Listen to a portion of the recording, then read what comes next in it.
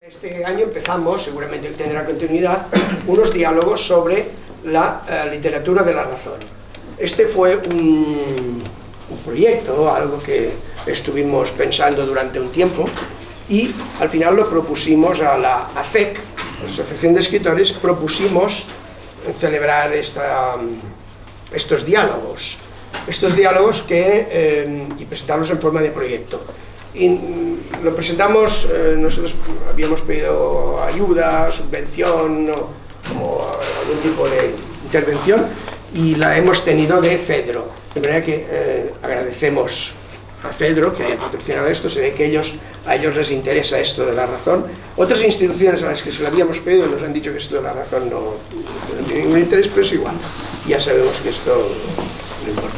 Bien, pues eh, ocurre, o sea, si nos planteamos en hablar de la razón, y la razón y la literatura, seguramente con esto llenaríamos muchísimas páginas, eh, no tendríamos suficiente con unas sesiones aquí, necesitaríamos más tiempo, eh, porque esto pues, nos veremos en los berenjenales de filosofía grandes, y entonces eh, lo hemos intentado reducir a dos sesiones que las haremos, las haremos en forma de dos diálogos.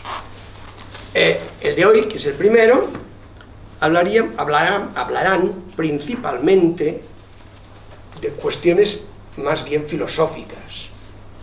Y mañana entraremos quizá ya en la, en la literatura y en el arte. Hoy nos hablará Pere Montaner, nos hablará de la racionalidad.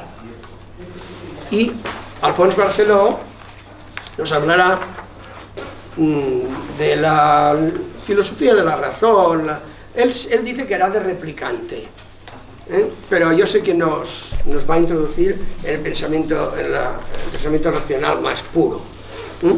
Si acaso yo moderará, o sea, la idea es que primero hable uno, luego hable el otro, se establezca un diálogo y moderará todo esto Marguerite Arte, que es la tesorera de la asociación en este caso no las funciones de tesorería, no. sino que las funciones de moderador. Bien, en todo caso, una breve eh, biografía de los participantes.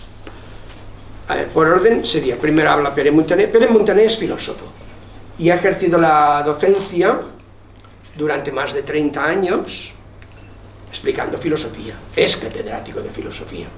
Es un defensor de la racionalidad y es de lo que nos hablará hoy. Ha publicado diferentes textos de difusión filosófica, de lógica, metodología, y actualmente es el editor de la revista La Charca Literaria. Y yo, mm, por lo que veo aquí, hay algunos de los existentes que son eh, escritores que participan en la Charca Literaria. Bueno, además de esto, Pere Montaner lleva unos cuantos años impartiendo unos cursos que se llaman Aclarimnus, que se trata de unos cursos de, filosofía para gente mayor, iba a decir filosofía para adultos, pero suena bastante mal, y digo filosofía para gente mayor, y que los imparte en el Museo de Badalona. No, Alfons Barceló, doctor en Ciencias Económicas por la Universidad de Valencia, es catedrático de Teoría Económica de la Universidad de Barcelona, y actualmente es catedrático de mérito. No, no. Ex catedrático. Ex catedrático.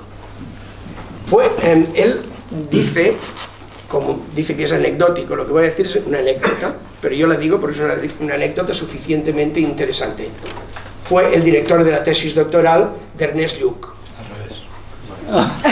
Al revés. Ernest Lluch fue el director de la tesis doctoral de Alfons Barceló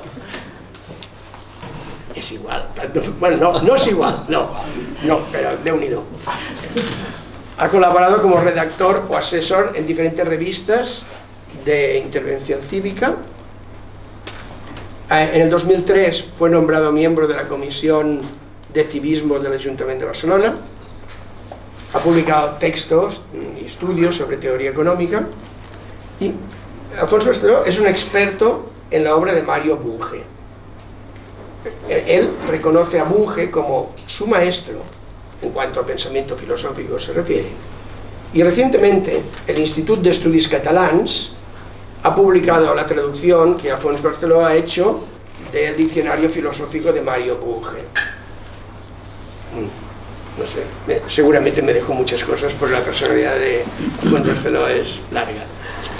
Y eh, para moderar esta sesión de hoy y también la de mañana, Marga Iriarte.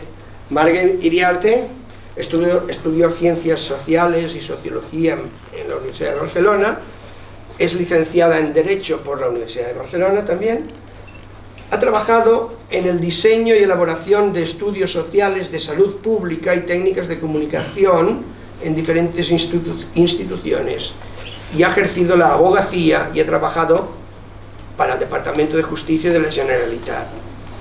Actualmente, ya he dicho antes, es la tesorera de la, de la SEC, de la Asociación de Escritores, y ella ha escrito en distintos estudios, varios estudios y ensayos, ha escrito narrativa, ha escrito teatro y novela.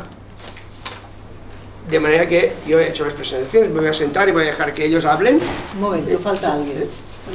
Falta Frances Cornado. Bueno, pero yo intervengo mañana. Bueno, sí, pero vamos a darle una, peque una pequeña, no, yo sí. un pequeño perfil eh, biográfico. Es arquitecto superior.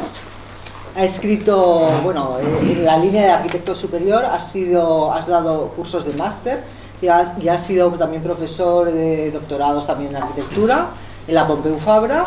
No, en la, eh, Ramón la, en la Ramón Llull y es poeta también, un gran poeta yo creo, bueno, es poeta, ha publicado un, eh, varios libros de poesía, narrativa breve, participa también en ACEC como el secretario general de ACEC y entre otras cosas... Eh, Nada más.